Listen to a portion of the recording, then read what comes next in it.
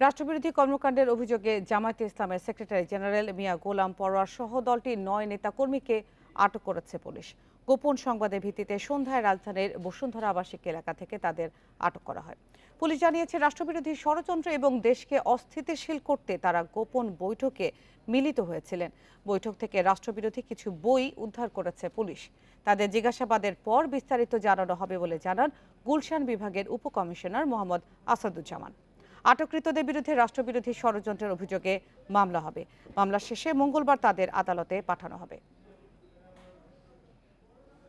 গোপন সংবাদের মাধ্যমে জানতে পারি যে জামাত ইসলামের কিছু সদস্য, তারা গোপন বৈঠকে মিলিত হয়েছেন এবং তারা রাষ্ট্রের বিরুদ্ধে যে গোপন কর্মকাণ্ড বা রাষ্ট্রবিরোধী ষড়যন্ত্রে তারা একটি পরিকল্পনা করছেন।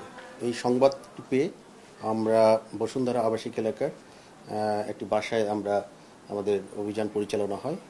এই অভিযান পরিচালনা করে আমরা সেই বাসা থেকে নয়জন সদস্যকে আমরা গ্রেপ্তার করি।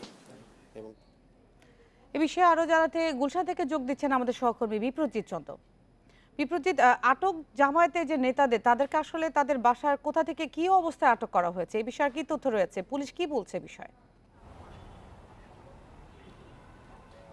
দেখুন, এখানে দুটি বিষয় কিন্তু সব থেকে গুরুত্বপূর্ণ।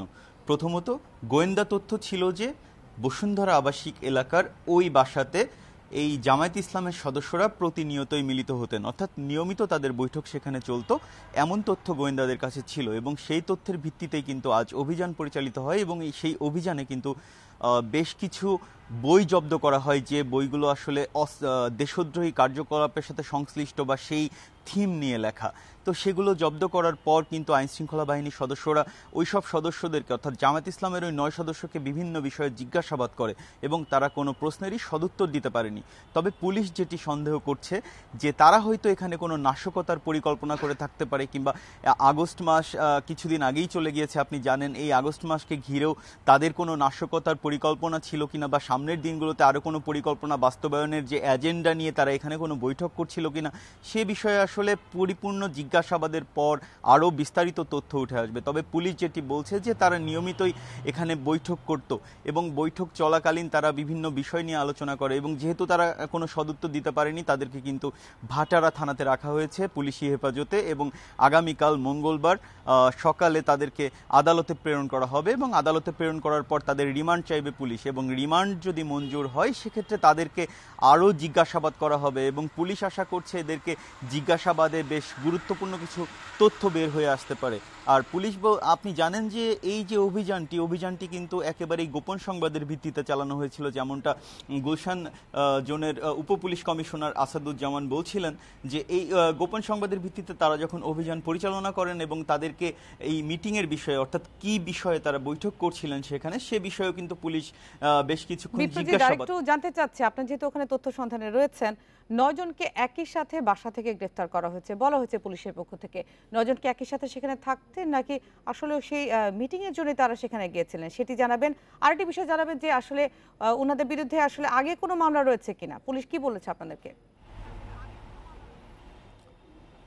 দেখুন, সর্বপ্রথম কথা হলো যে বাসাটিতে এই মিটিং চলছিল, তারা কিন্তু কেউই সে বাসার বাসিন্দা নন।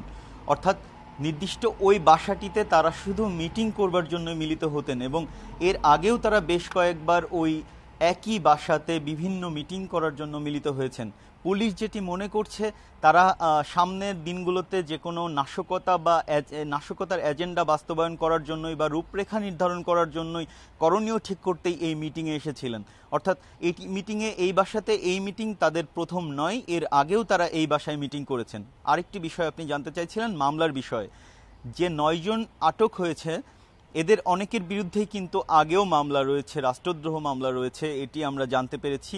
তবে কাল আদালতে যদি তাদেরকে রিমান্ড মঞ্জুর করেন আদালত, তাহলে পুলিশ পুনরায় তাদের আরও ডিটেল জিজ্ঞাসাবাদ করার সুযোগ পাবে, তখন হয়তো আরও অনেক তথ্য সামনে আসবে। গুলশান থেকে জানাছিলেন আমাদের সহকর্মী বিপ্রজিৎ চন্দ্র।